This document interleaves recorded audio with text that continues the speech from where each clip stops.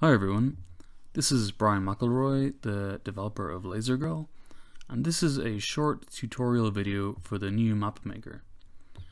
So first I'll open it up by going to Extra and Map Maker, and here it is.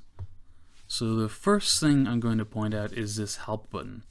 If you click that, you get all this help, and if you want to get good at the map maker, I highly recommend you read all this. So if I click it again, it goes away. So this gray area is where we make them up. And to pan around, you hold down the middle mouse button and drag. And to zoom in and out, you use the mouse wheel. Now I'm just going to make a random map and explain what I'm doing and hopefully it will make sense. So first thing I'm going to do is uh, select this volume tool. And then I'm just going to click anywhere and it will create a volume.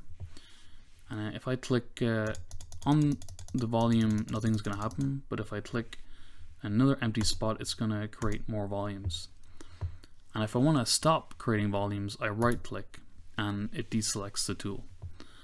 So when you don't have any tool selected and you click on something, it will select that item. So if I select this volume, I can then move it around with this handle in the center. I can also change its size with these four handles in the corners. So the next thing I'm going to show you is bases. So I'll uh, click the base tool, I'll click to make a base, I'll click to make another base. Now this base is not facing the right way. So I'm going to right click to stop making bases. Then I'm going to select the base with left click. And then down here, when you have one item selected, you'll see its properties and you can change them. So I could change what team it's for. I can also change what way it's facing. So we'll make this face left, right? Actually, I'll change the team to make it more different. Okay. Now, the next thing are spawns. So these are the locations that players can start in on the map. So I select uh, the spawn tool and then I left click to create a spawn. And I uh, left click to create another spawn. And you see that it automatically creates them for different teams. So it creates one for team 1 and one for team 2 now if I wanted to create more spawns for team 1 you know let's say I wanted 6 spawns or 8 spawns for team 1 the easiest way to do that is to copy this existing spawn. So I'm going to right click to deselect the tool I'm going to select the spawn and then I'm going to hit control C. Or I could just hit this button. And now when I click it just creates more copies of that spawn. Um, if I do it again for this spawn uh, I select it hit control C and I can also just drag the mouse around and it will create loads of them.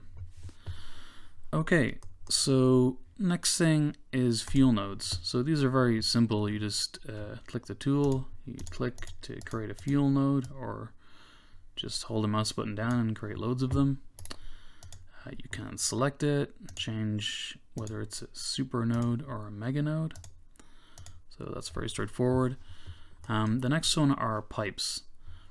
So pipes will connect to these two corners of the base and uh, so something needs to be connected to, these corners for energy to get into the base.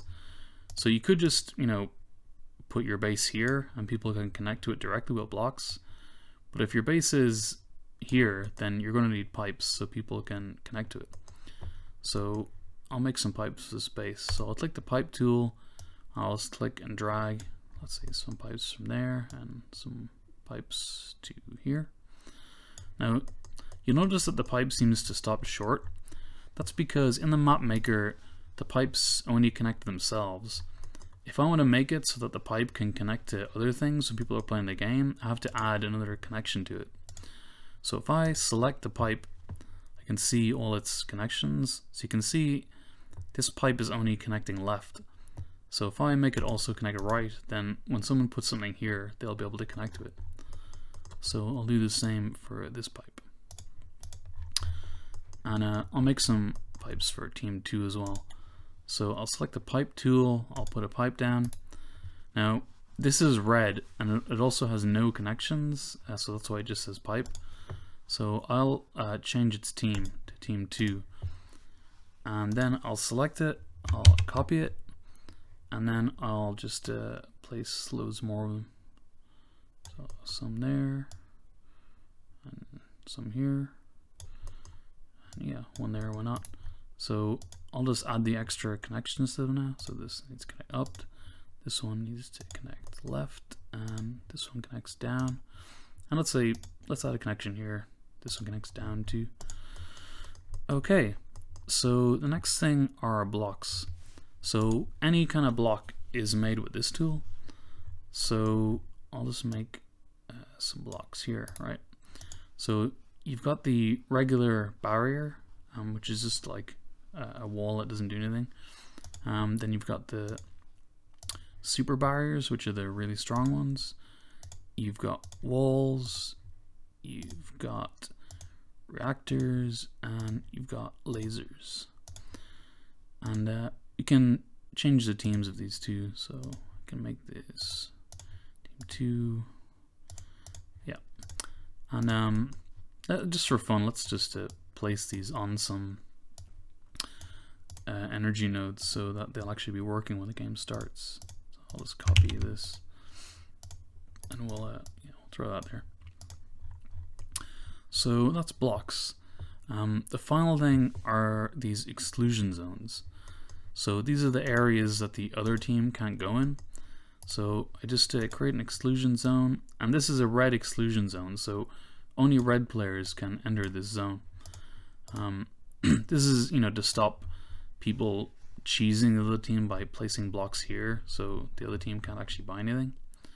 So if we put a, a zone like this, that would uh, that would work Would stop people from cheesing their base. Um, another thing you can do with exclusion zones is that they can grow or shrink over time. So the default ones in the default arena actually starts off like quite big and shrinks over time. So if I set this, if I set the grow amount to minus two, what would happen is that over the course of 60 seconds, this would uh, get smaller by two increments. So it would get smaller once and then get smaller twice. And uh, if it gets small enough, it just disappears.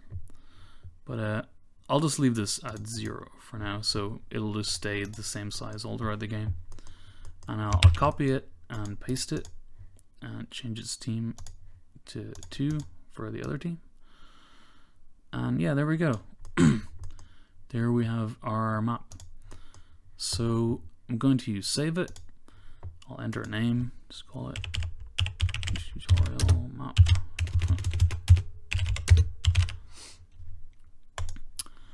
Okay, and let's uh, try it out. So I'm just gonna host a regular game, so online, host, and if I go to custom, we should see our new map uh, yeah, there we go, tutorial map. So here it is in all its magnificence. So I'm just going to go over to another uh, copy of LazerGrrl I'm running, and let's join this and see if it works. So there's the game. Okay, so we'll say I'm ready. Say I'm ready. And yeah, there we go.